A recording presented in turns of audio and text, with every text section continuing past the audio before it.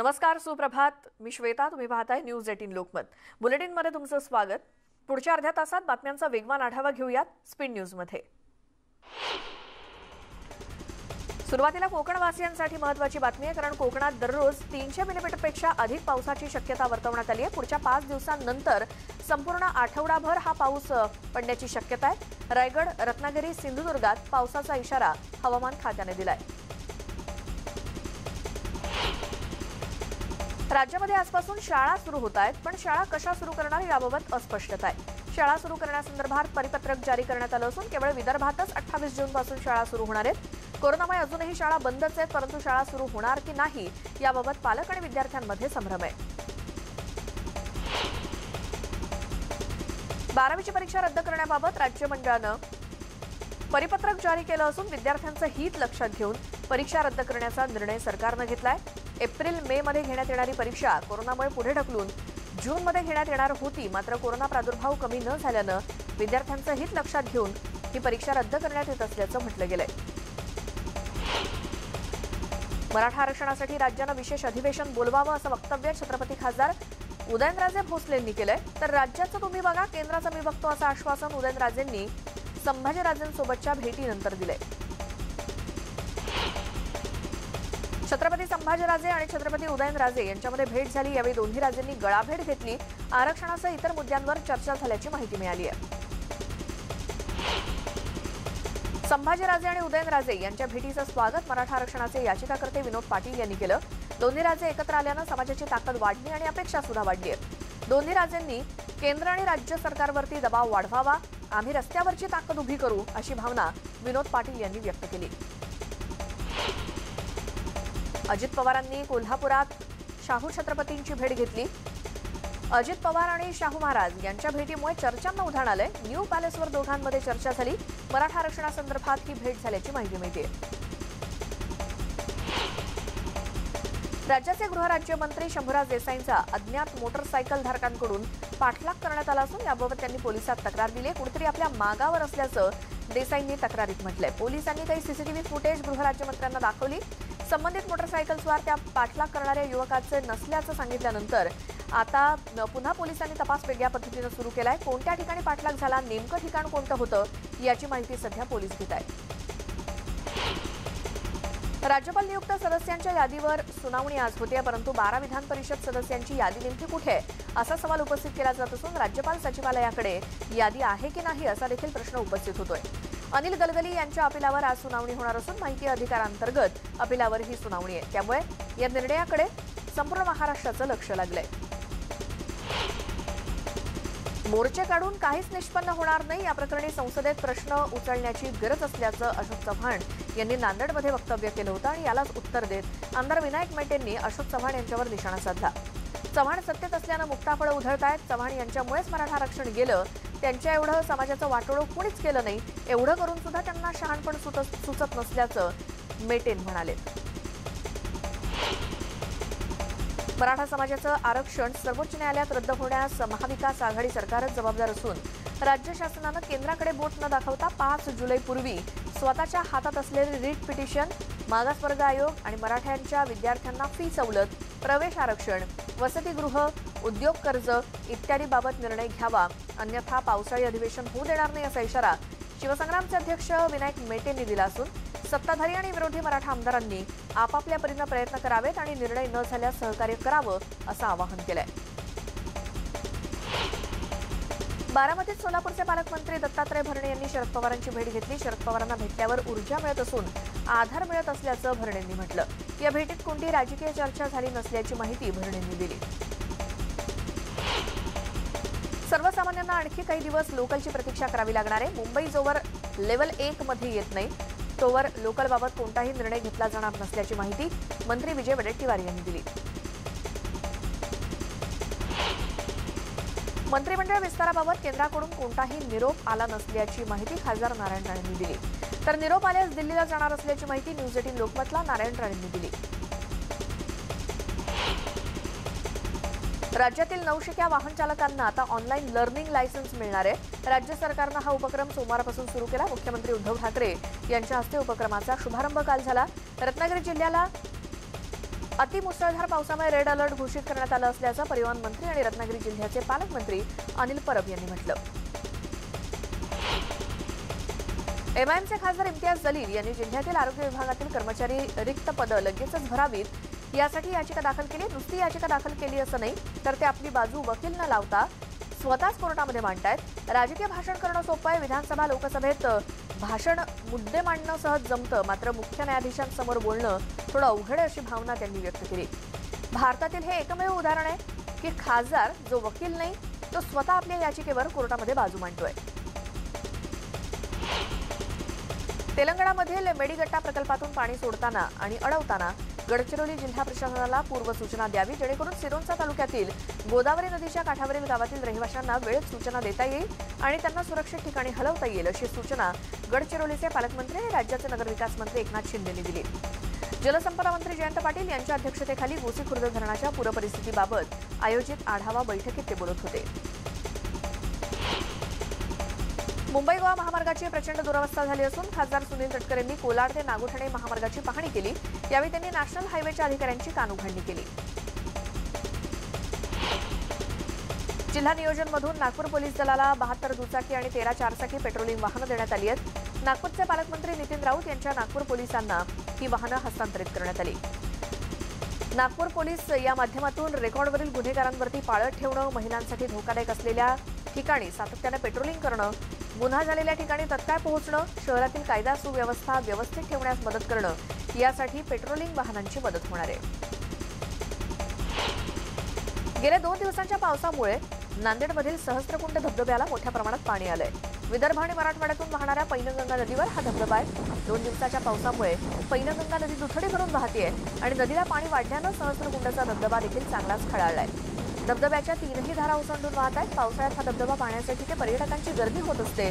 पण मागील दोन वर्षांपासून कोरोनामुळे इथे पर्यटकांना प्रवेश दिला जात नाहीये. नागपूरमध्ये आपापल्या वेगवेगळ्या मागण्यांसाठी पालिकेचे कचरा उचलणारे कर्मचारी संपावर गेलेत. त्यामुळे दोन दिवसांपासून अर्ध्या नागपूर शहराचा कचरा नागरिकांच्या घरातच पडू नये. पगारवाढ आणि वेळेवर पगार ही या कर्मचाऱ्यांची प्रमुख मागणी आहे. पालिकेचे पदाधिकारी लवकरात लवकर हे आंदोलन संपवण्यासाठी प्रयत्न करत आहेत चंद्रपूर जिल्ह्यातील जगप्रसिद्ध ताडोबा अंधारी व्याघ्र प्रकल्पाला जोडणाऱ्या मोहुर्ली मार्गावरील एकोणीस किलोमीटरच्या अंतरात उभारण्यात आलेले त्रेसष्ट गतिरोधक ग्रामस्थ आणि वनविभाग यांच्यातील रोषाचं कारण बनलंय. वाहनांचा वेग नियंत्रित राहावा आणि वन्यजीवांना संरक्षण मिळावं यासाठी हे गतिरोधक बांधले गेलेले आहेत. त्यामुळे त्यामुळे मात्र यामुळे याच भागातील एका महिला सरपंचाचा रुग्णालयात पोहोचताना गर्भपात झाला तर दुसऱ्या एका घटनेत सर्पदंश झाल्यावर उपचारात विलंब झाल्यानं एका बालकाचा मृत्यू झाला. या गतिरोधकांवरून ग्रामस्थ वनविभाग यांच्यामध्ये आता संघर्षाची स्थिती आहे. गेल्या दहा महिन्यांपासून महाड वरंद मार्गे पुण्याला जाणारा घाट रस्ता अतिवृष्टीमुळे वाहतुकीसाठी बंद होता. त्यामुळे नागरिकांना प्रचंड आर्थिक मानसिक आणि शारीरिक त्रास सहन करावा लागत होता. कोकणातील रत्नागिरी आणि रायगडकरांना पुण्याला जाण्यासाठी जवळचा रस्ता हा वाघजाई घाट रस्ता आहे अत्यंत महत्त्वाचा हा घाट रस्ता पुन्हा एकदा नागरिकांसाठी खुला करण्यात आला असून प्रवाशांमध्ये आनंदाचं वातावरण आहे. बुलढाणा जिल्ह्यानं सोमवारपासून अनलॉककडे वाटचाल सुरू केली. त्यामुळे जिल्हावासियांना आनंदच झालाय पण काही नागरिक बेफिकीर दिसत आहेत त्यामुळे कोरोना हा आज जरी आटोक्यात आलेला असला तरी नागरिकांच्या निष्काळजीपणामुळे पुन्हा संसर्ग होऊ शकतो आणि नागरिकांना कोरोनामुक्त जिल्हा हवा असल्यास जबाबदारी सुद्धा स्वीकारावी लागेल. त्यामुळे आज ज्याप्रमाणे नागरिक वागतायत ते काही बरं नाही. अकोल्यातील अकोट तालुक्यातील वडाळी देशमुख परिसरात झालेल्या वादळी पावसामुळे फळबागांचं मोठ्या प्रमाणात नुकसान झालंय. वादळी पाऊस आणि गारपीट यामुळे लिंबू पपई केळी ही सगळी झाडं उन्मळून पडली आहेत. त्यामुळे शेतकऱ्यांचं मोठं नुकसान झालंय. शेतकऱ्यांच्या फळबागेचं होत्याचं नव्हतं झालंय त्यामुळे शेतकरी हवालदिल झालाय. झालेल्या नुकसानीचे तत्काळ पंचनामे करून नुकसान भरपाई देण्याची मागणी परिसरातल्या शेतकऱ्यांनी केली आहे. वाशिम जिल्ह्यातील खरीपाचं क्षेत्र असलेल्या चार लाख हेक्टरपैकी जवळपास तीन लाख हेक्टरवर सोयाबीनची पेरणी केली जाते आणि या खरीप हंगामात मालेगाव तालुक्यातील मुंगळा परिसरात नव्वद टक्के पेरणी झाली असून यात सोयाबीन मूग उडीद आणि तूर या पिकांच्या पेरण्या आटोपलेल्या आहेत. मात्र वाशिम जिल्ह्यात तेरा जून ते सोळा जून दरम्यान वादळी वारे आणि विजांच्या कडकडाटासह मुसळधार पावसाचा इशारा हवामान विभागानं दिलाय. त्यामुळे पेरलेल्या पिकांचं नुकसान होऊन दुबार पेरणीचं संकट ओढावू शकतं. त्यासाठी किमान सतरा जूनपर्यंत कुणी खरीपाच्या पेरण्या करू नये असं आवाहन कृषी विभागानं केलंय. देशातील अग्रगण्य company the Kute group of कंपनीनं डेअरी उद्योगात नव्यानं पदार्पण केलंय.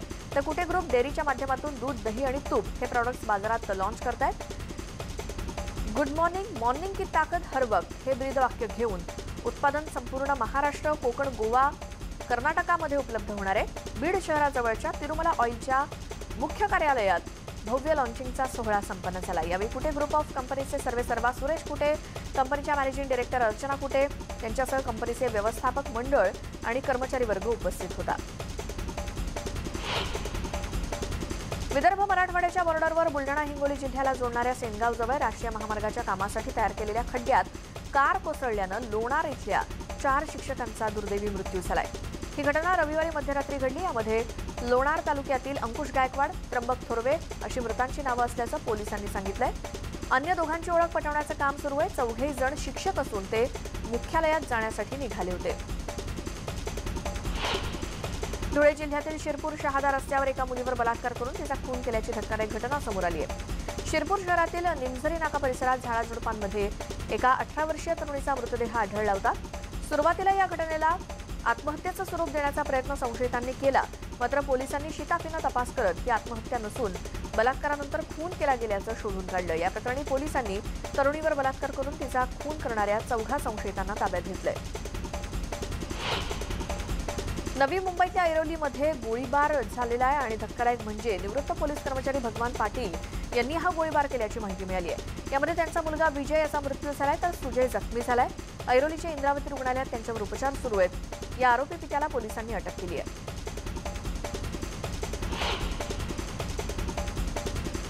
आणखी तर हे स्पीड न्यूज पाहणार आहोतच एका छोट्याशा ब्रेक नंतर पाहत्रा न्यूज एटीन लोकमत.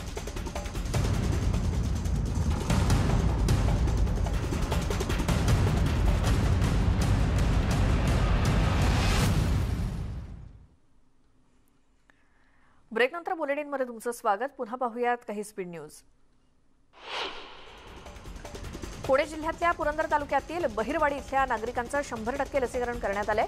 बहिरवाडी हे गाव शंभर टक्के लसीकरण करणारं देशातलं पहिलं गाव ठरलंय. या गावानं केलेल्या उपक्रमाबद्दल माजी केंद्रीय कृषी मंत्री शरद पवार यांनी कौतुक केलंय.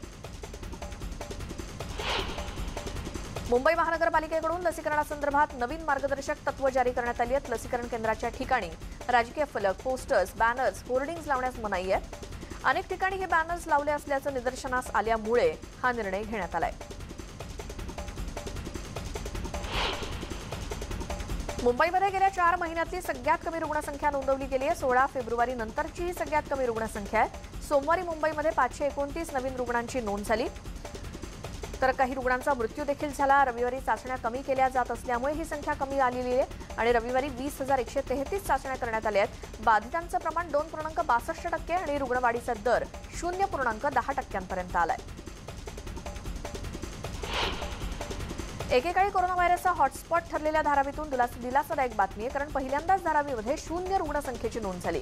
कोविड नाईन्टीन संसर्गाच्या दुसऱ्या लाटेत धारावीत पहिल्यांदाच शून्य रुग्णसंख्या नोंदवण्यात आली गेल्या चोवीस तासात धारावीमध्ये काही रुग्ण एकही रुग्ण सापडला नाही आणि धारावीत दैनंदिन कोरोना रुग्णसंख्या प्रथमच शून्यावरती आली आहे. जी उत्तर वॉर्डमधील कोरोनाबाधित रुग्णांची आकडेवारी मुंबई पालिकेनं जारी केली आणि या आकडेवारीनुसार या वॉर्डमध्ये केवळ नऊच नव्या कोरोनाबाधित रुग्णांची नोंद झाली. धारावीमध्ये आज एकही कोरोना रुग्ण न आढळल्यामुळे न आढळल्यामुळे मुंबईच्या महापौर किशोरी पेडणेकर यांनी धारावीकरांचे आभार मानले. धारावीकरांनी हे करून दाखवलं. तिथल्या वॉर्ड ऑफिसरने टीमच्या माध्यमातून चांगलं काम केलं. तसंच मी धोबी लोकांमध्ये भेदभाव करत नाही. यात राजकारण्यांच्या उड्या पडल्यानं वाद वाढतोय आणि आशिष शेलारांनी न बघता बोलणं उचित नाही. त्यांना फक्त राजकारण करायचंय असंही पेडणेकर म्हणाल्या.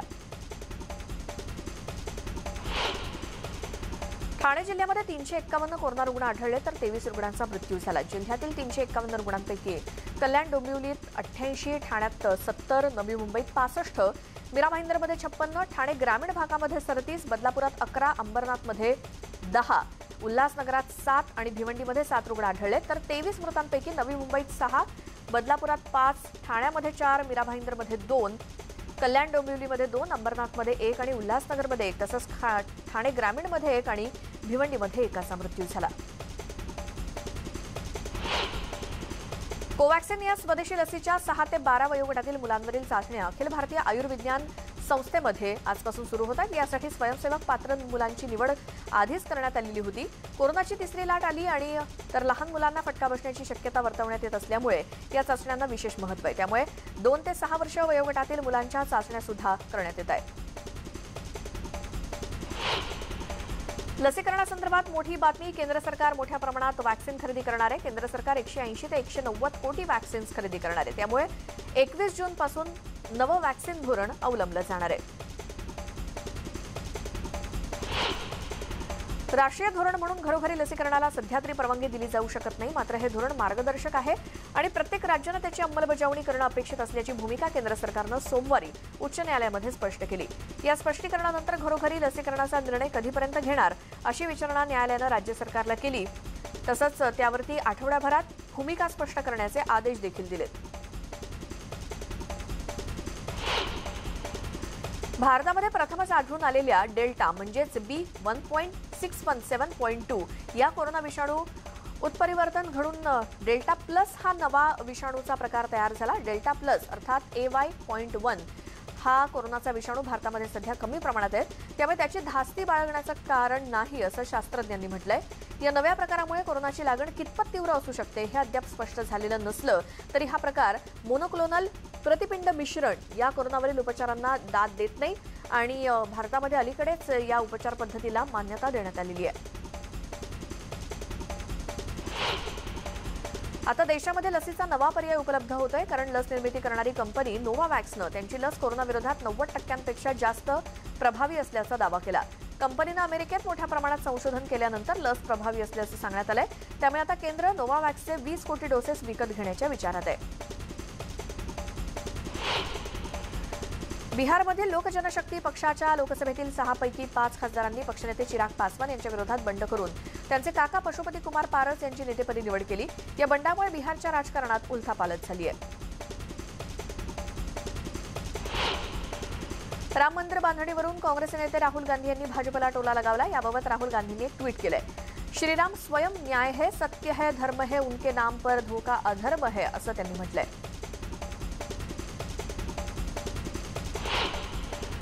इंडियन प्रीमियर लीगच्या दुसऱ्या टप्प्याचं वेळापत्रक ठरवण्यासाठी तसंच ट्वेंटी ट्वेंटी विश्वचषक स्पर्धेच्या आयोजनाचा अंतिम निर्णय घेण्यासाठी भारतीय क्रिकेट नियामक मंडळाच्या उच्चपदस्थ पदाधिकाऱ्यांची मुंबईमध्ये या आठवड्यात बैठक होणार आहे.